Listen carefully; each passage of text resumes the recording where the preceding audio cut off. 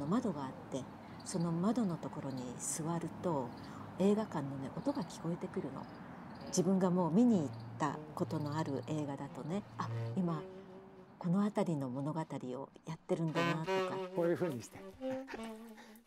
覗き込むとオーケストラがついてるね前に楽団が一番いいところ一本立て二本立てひでとけ三本立てで。もうちょっと今いいとこだからもうちょっと。ほとんどみんな立っちゃう通路に。ほいで見よったから。